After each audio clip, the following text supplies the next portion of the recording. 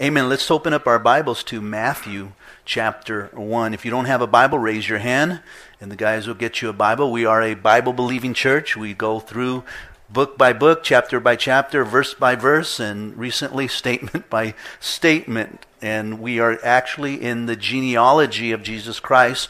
We will be looking at verses 6 through 17, the, the next two 14 generations of Jesus. And we're really trying to make this as exciting as we can, knowing that genealogies are not always the, the exciting thing, you know, of a party. We would go to our relatives' parties, Christmas parties, and one of the things that Virginia's relatives like to do is to talk about their genealogies, and that's usually when when I push the chair back, stand up, and I go out of the room and watch football because they'll just trace their genealogy as, as far as back as they possibly can. So it's not always the most exciting thing. So we're doing the best we can. Um, last week we we saw the first 14 generations and how they were the patriarchs of Judaism, uh, the fathers in a sense. And the Jews understood that Abraham was the fathers of the Jews. In fact, they told Jesus, "We're of our father Abraham." And that's when Jesus responded was, "Before Abraham was, I am." And this week we look at the kings. 14 generations of kings that ruled on, at with kingdoms and on the throne, and 14 generations of kings who had no kingdom or throne to rule on. So we'll look at that this morning. There's nothing more exciting than faith in action. Would you agree? To see someone's faith actually doing something, not just sitting around doing nothing, but really they believe what they believe and they respond to that belief with action. I believe it was 25 years ago that I sat at a conference with Pastor Chuck and a lot of other pastors, and he talked about something that the Lord had on his heart, and he wanted to take a step of faith and to see what God would do. And so he opened up on a Friday night, I believe it was, a mini crusade. And he had a lot of bands come out and had churches involved and invite the unsaved, and he had Greg Laurie speak at the first crusade there that was on the heart of Chuck. And from that point on, 25 years later, we have what you call the Harvest Crusade. That is a work of faith right there in itself. And because of the work that God has done in their lives, many have been touched like that. And God wants to have a work in your life. And this morning, we will talk about that. You might feel, well, I'm really not capable of doing something great for the Lord.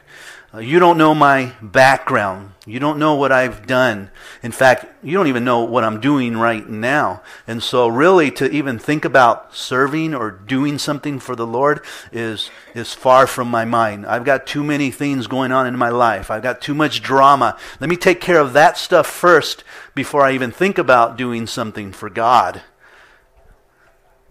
And this morning I'm going to tell you that you need to do something for God and let Him work those things out in your life. Just this last week, uh, we were talking about this very thing, and it's interesting how God brings these subjects up as I'm studying. And this individual said, My life was so messed up, I, I just wanted to wait until he got it straightened out. He goes, It's been five years. I have done nothing. Nothing but wait, wait, wait and he has an opportunity now to serve, but he's still waiting for his life to get straightened. And I said, You know what you need to do? Get serving and let God straighten your life out. Just seems that God has a way of doing that. We know that the children of Israel were becoming a vital kingdom at that time when God had raised them up as a nation to be a reflection of who He was. They began to grow and grow. Uh, they were beginning to be mighty. There were enemies that were attacking them, and so they had a desire to have a king rule over them. In 1 Samuel chapter 4, this is what they said when they called all the elders of Israel together, and they came to Samuel, and they said to him, Look, you're an old man. you can't rule over us anymore, in a sense. And your sons, they don't even walk in your way. They're not as committed as you are.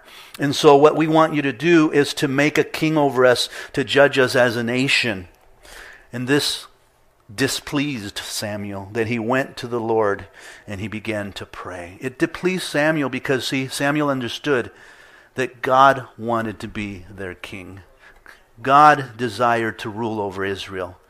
There was a situation when the patriarch Jacob, it was Abraham, Isaac, and then Jacob came. When Jacob uh, had to run away from his family because of some um, conniving that he had done, and his father was upset, his brother was upset because he stole the birthright.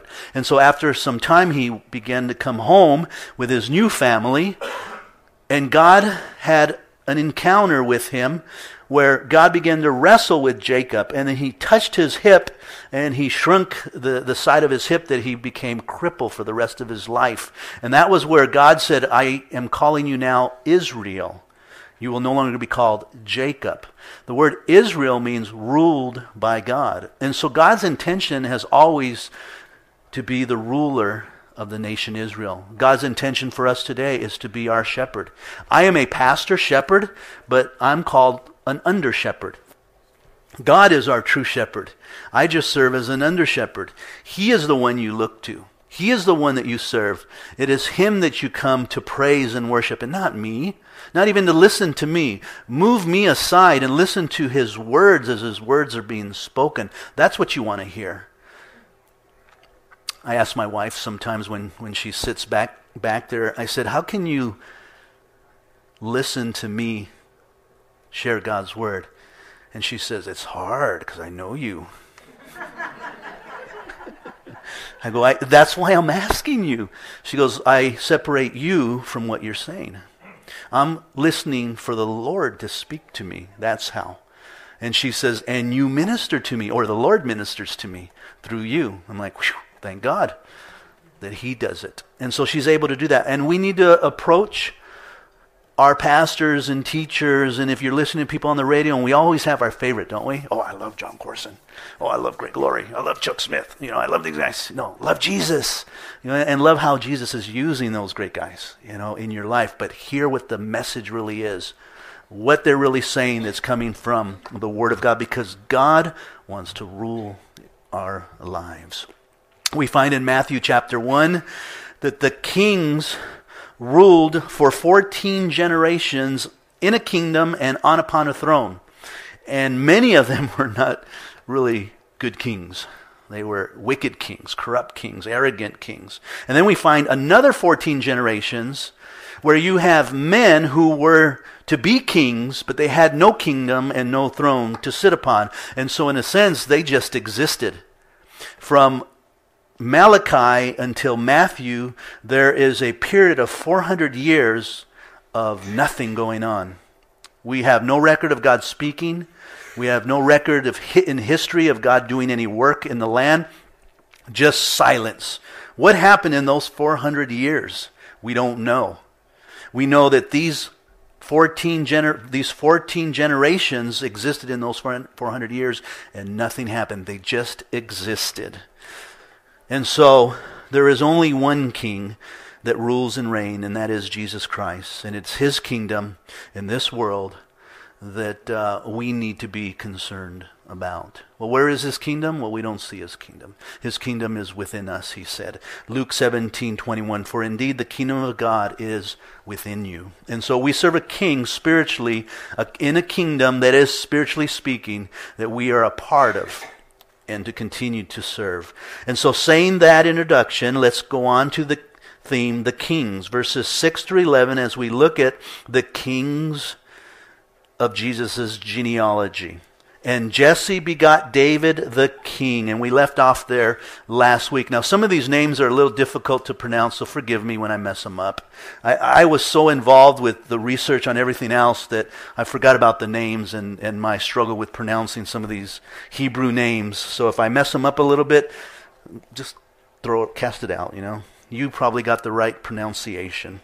So David the king begot Solomon by her, who had been the wife of Uriah. Now, who's her? That's the question mark. And why didn't Matthew mention her? You know, obviously there is a her, and that her we know to be uh, Bathsheba. Bathsheba became the wife of David through a sinful situation, and we mentioned it briefly last week. David happened to be on the rooftop. He happened to be looking over his kingdom when he should have been out at war and protecting his kingdom, but he was fleecing uh, his flocks in a sense there in his kingdom. Saw this beautiful woman, uh, her bathing on the rooftop, and he desired her. And he asked his men to go get her, and he ended up laying with her while she got pregnant.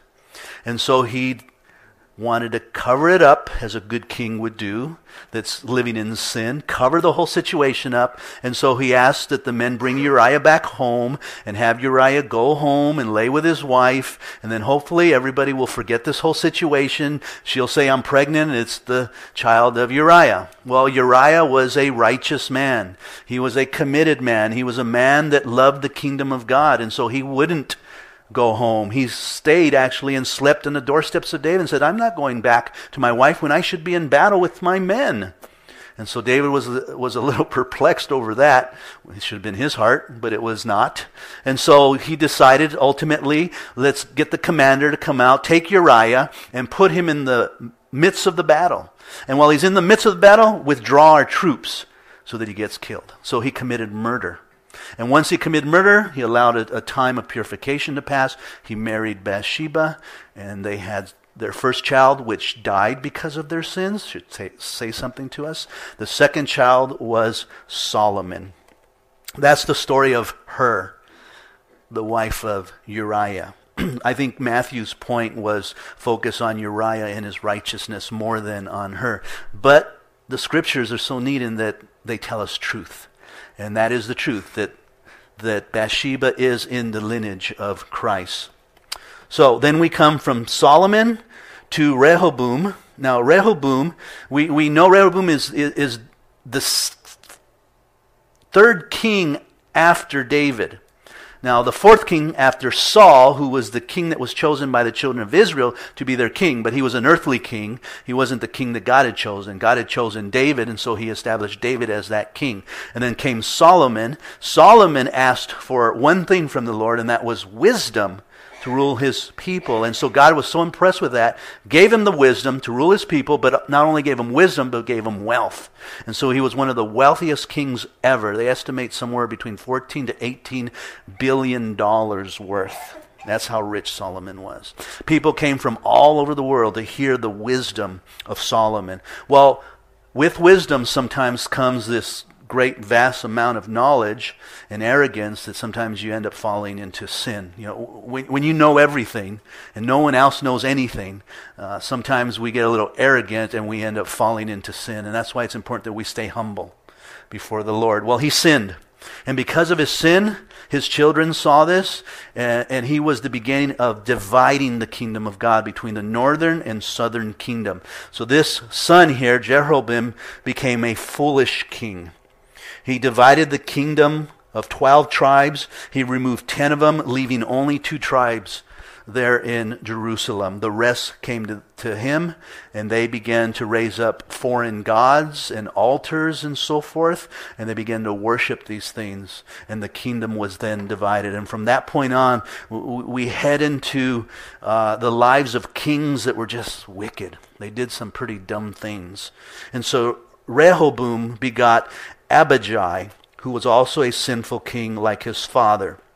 Fruit doesn't fall far from the tree. If you are a unrighteous man, then chances are your children will become unrighteous. If you're a godly man, then chances are your children will become godly. Now, I'm not saying, you know, all the time there's those individuals that struggle in life and so forth, but you need to continue to walk righteously.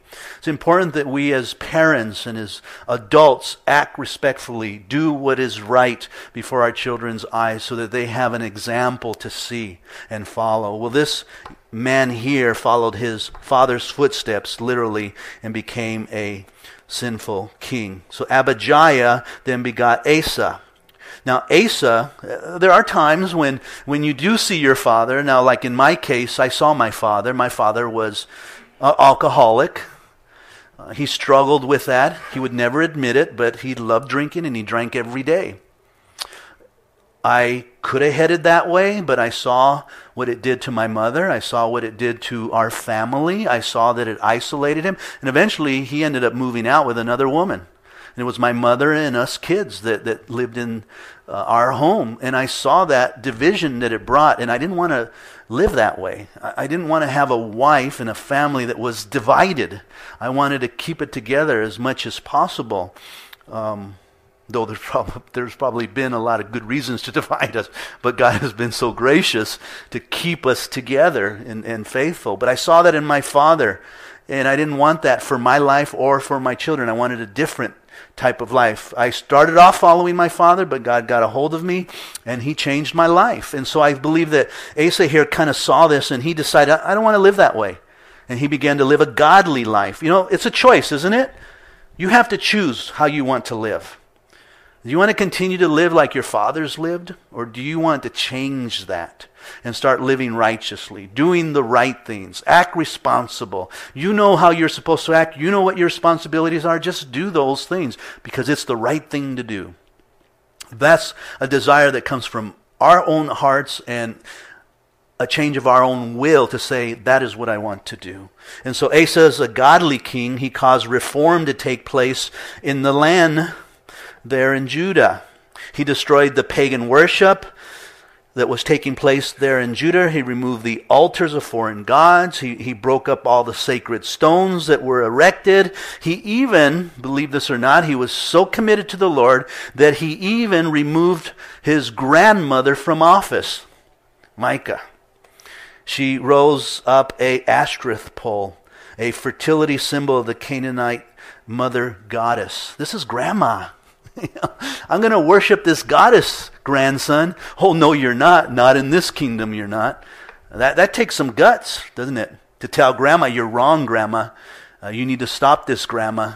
You shouldn't live like this, grandma. You should live righteously, grandma. And so he removed her from office.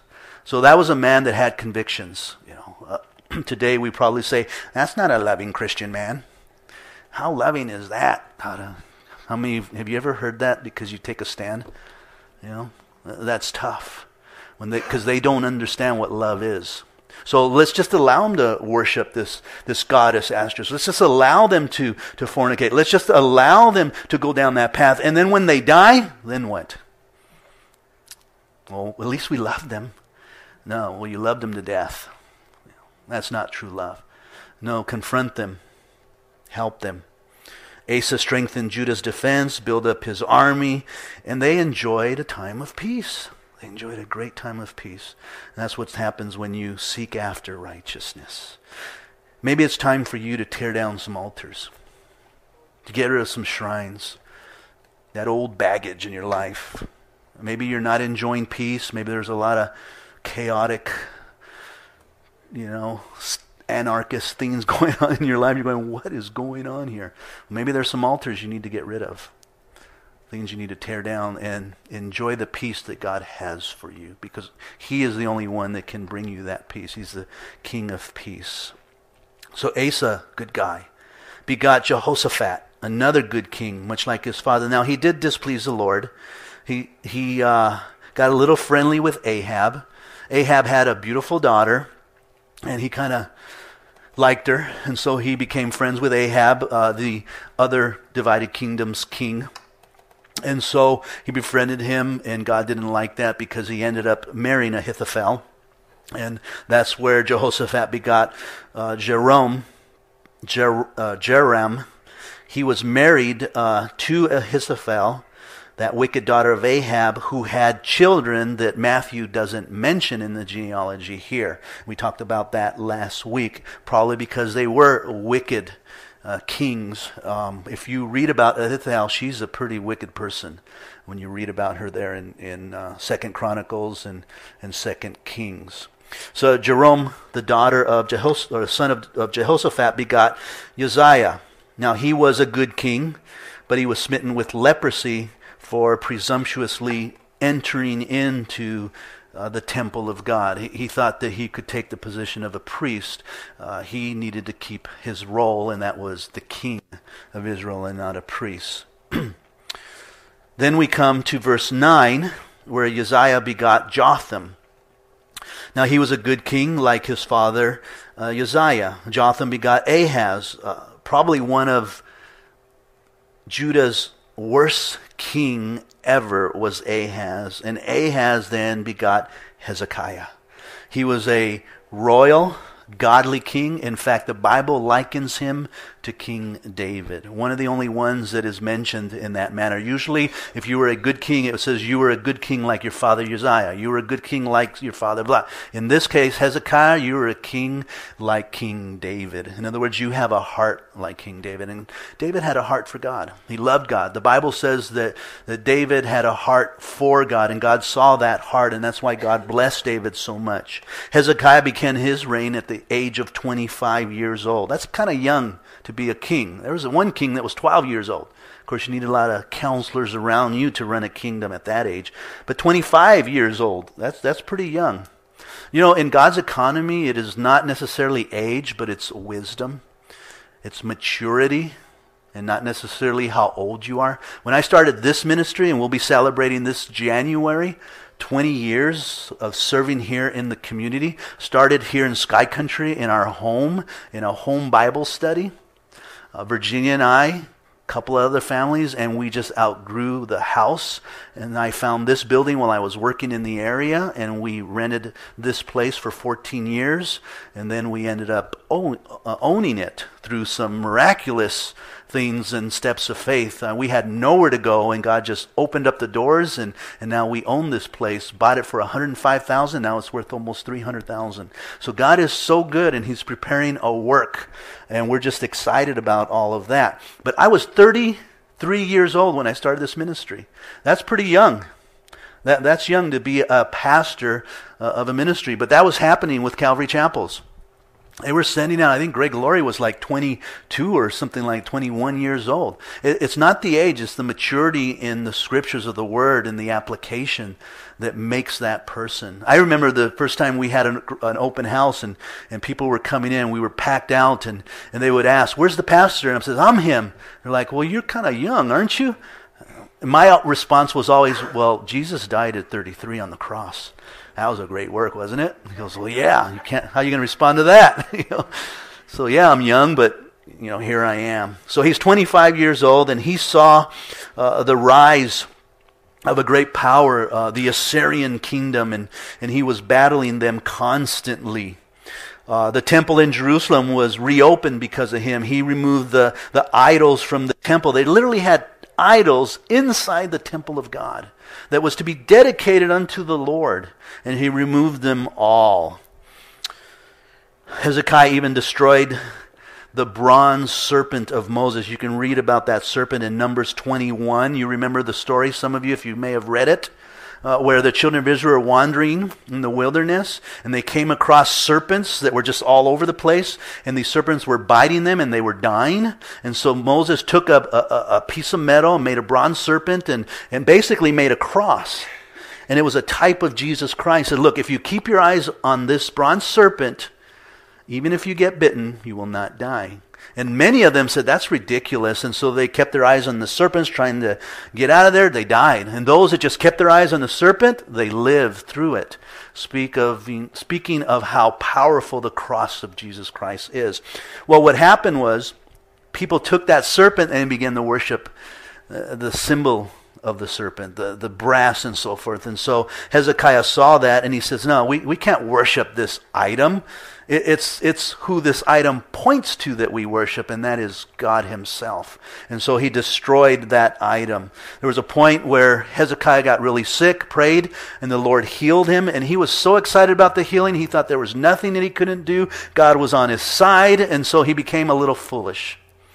The Babylonians send some ambassadors with a get well card in a sense. You know, hey, we're really concerned about you. We're glad you're feeling better. Here's some ambassadors who want to just say hello. And so he got so excited, he started showing the ambassadors everything that God had in his kingdom. He took them to the temple, showed them all the gold, showed them the Holy of Holies, he showed them all the candlesticks, the, the menorahs, you know, just everything.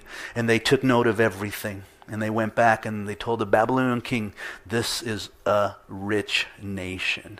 And about 25 years later, when God was done with the children of Israel because of their sins, the Babylonians remembered that Israel had a lot of gold.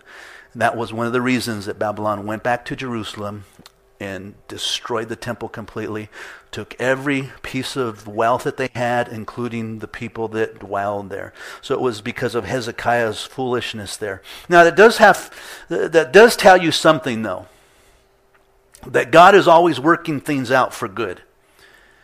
Even though Hezekiah did this, he planted seeds in the hearts of the Babylonians. God would use that 25 years later when he had it with the children of Israel and he cut them off and said, That's it. I'm raising up a kingdom and they will come down and they'll take you captives.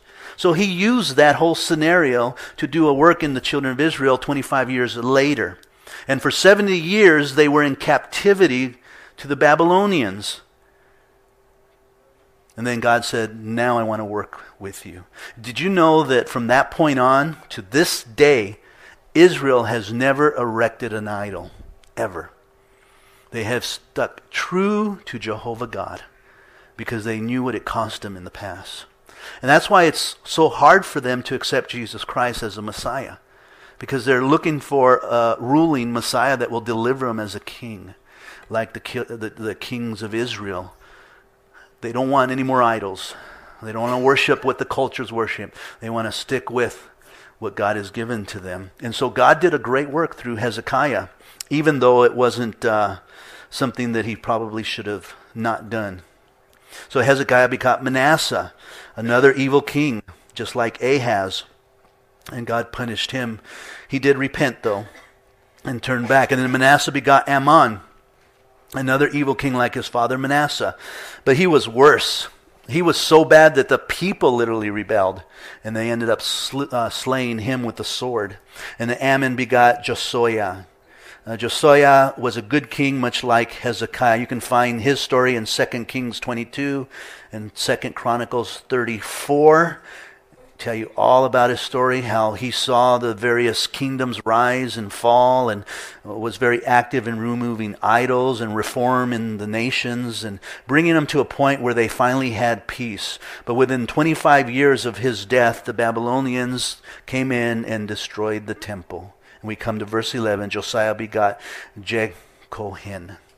He became the last king to rule on the throne of David because of the sin that the kings had done. Now, history tells us in Jeremiah 29 and Esther chapter 2 verse 6 that Mordecai was one of the guys that was friends with Jehoiakim and they both escaped Jerusalem before Babylon came there. And you can find those stories there.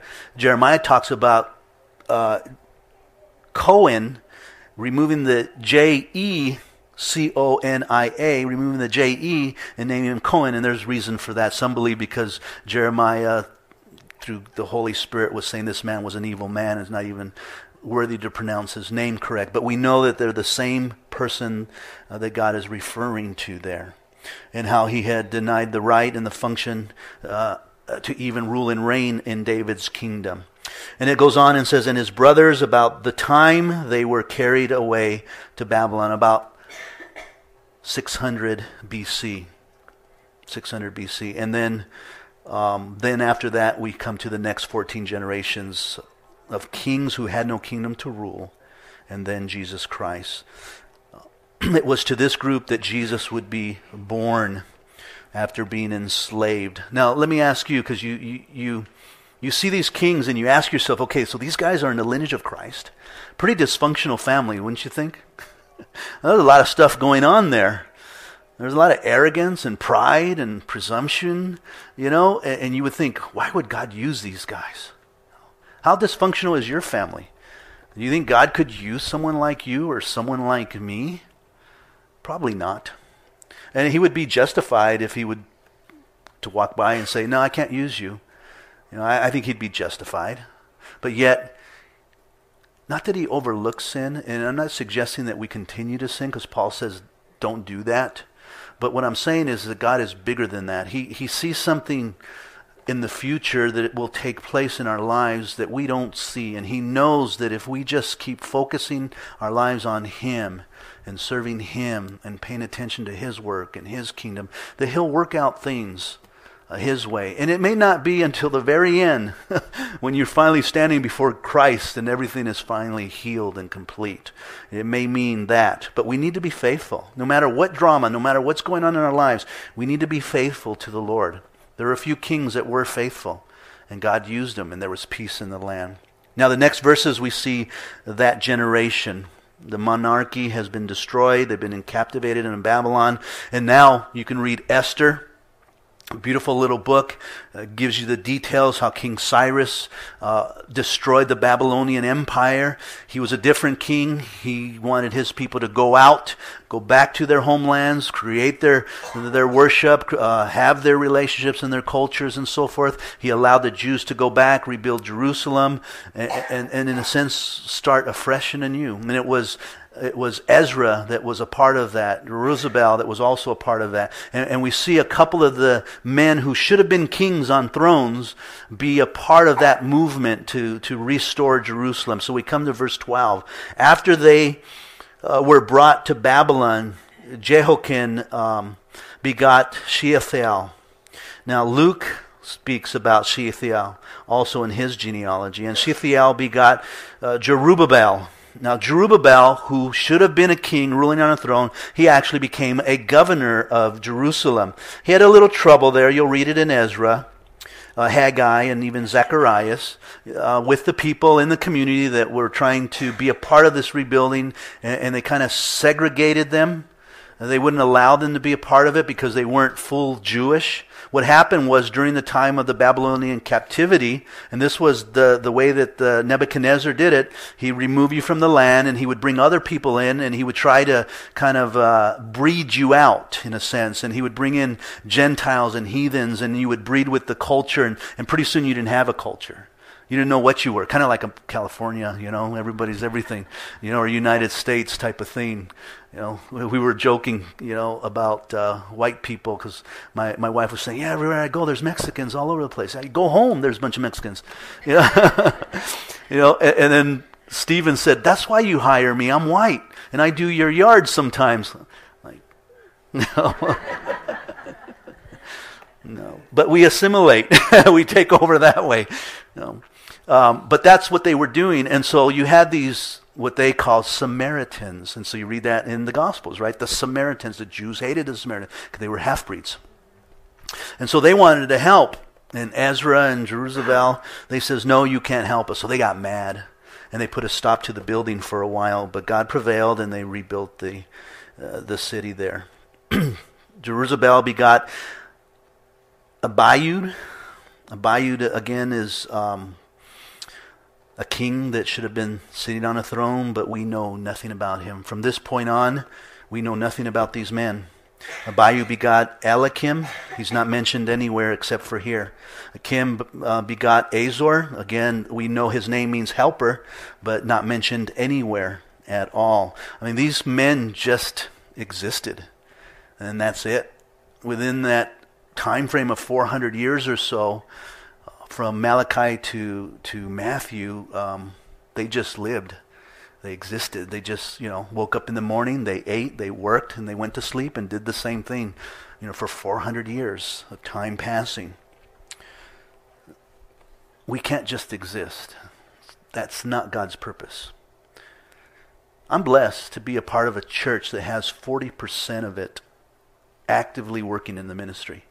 And we have a ministry meeting this coming Saturday, and it's 40% of the church. That's a high percentage of the church. That's unusual. Usually it's 10%. So we're 30% above that. So we have a unique group of people here that really love the Lord.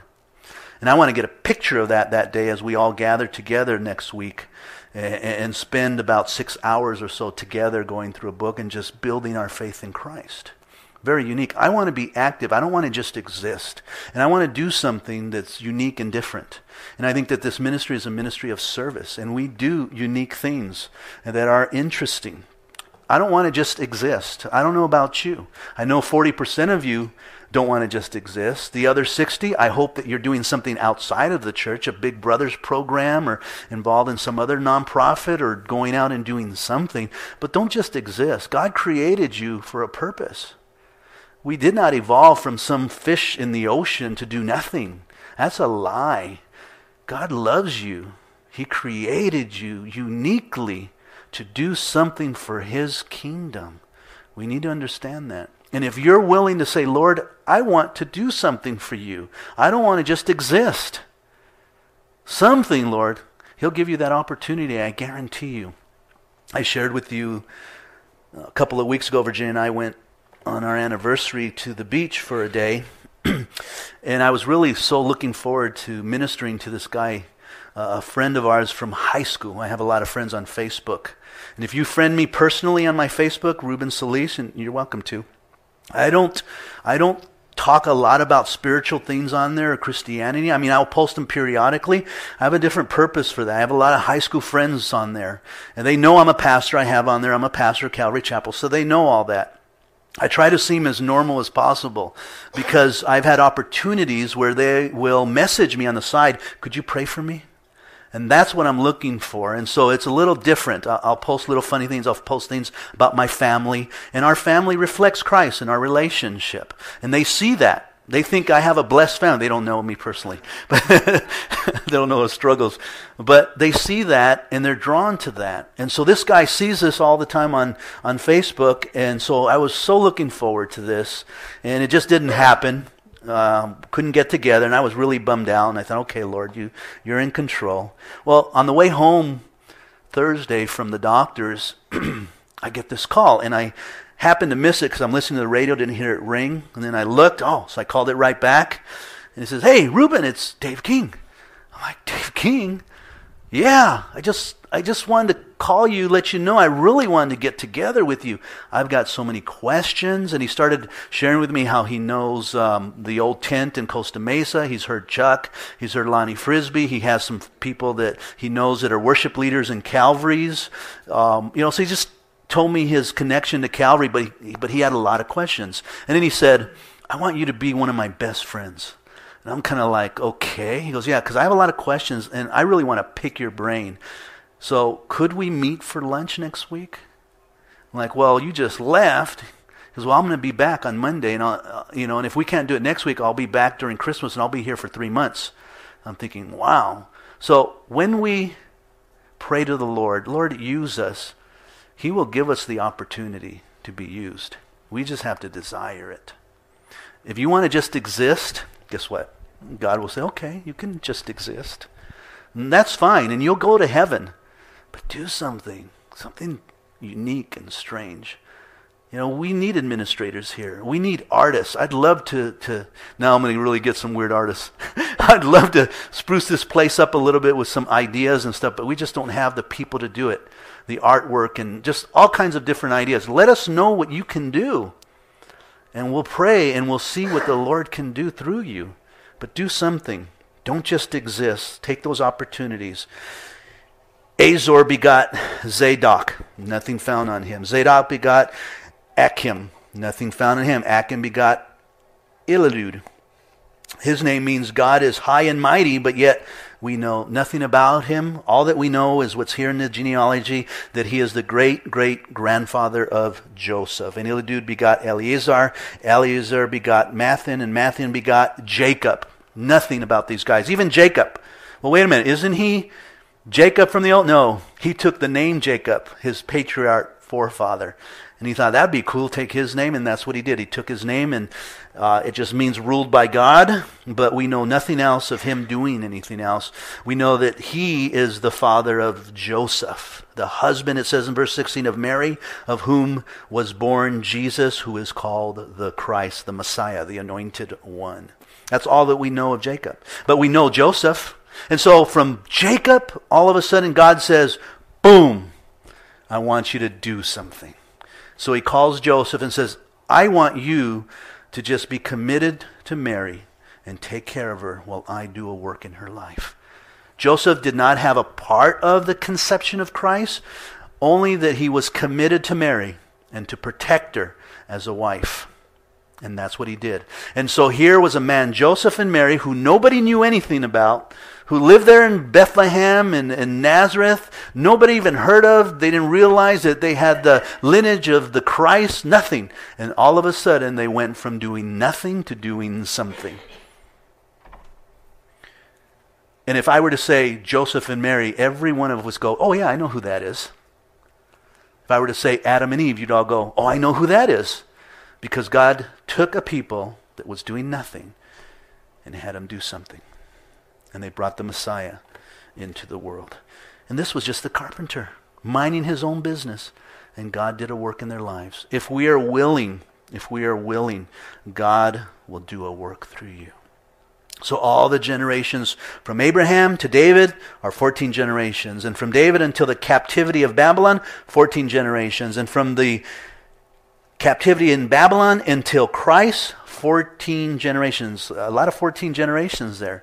The number 7 is divisible into those 14 generations. 7 goes into 14 twice. 7 goes into, oh my math, 30, 42 six times. The 7 is a number of completion. So this genealogy is complete in the eyes of God. Let me close. The majority of the kings, I mean, they ruled as best as they could, but basically they were evil, arrogant people. We find that there was a lineage in Jesus Christ that was dysfunctional. You had women that were prostitutes. You had women that weren't even gen- they weren't even Jews, they were Gentiles. They weren't even expecting to do a work for God. You have a bunch of guys that we know nothing about that should have been ruling and reigning on thrones, but they weren't. Talk about a dysfunctional family. What about our families? I don't want you to tell stories. Only story I want you to tell is how God is moving in your life because you're taking your faith and it's got action with it. That's the stories we like to hear. The other stuff, God will take care of that. But let's be people who are excited about the work of God and what God is doing. And God has a work for you individually. A beautiful work. Oh, it may not be a pastor, it may be, who knows? You might not be a great evangelist, but you might be. You just never know if you take a step of faith. But it could be touching the lives of one little child in the children's ministry. It could be just being faithful here at the church to, to serve and to prepare or to tear down or do something like that. It could be just to help put together a shoebox that some little kid in another country might open up and see Jesus. It could be something as simple as that. But we can do something for the Lord.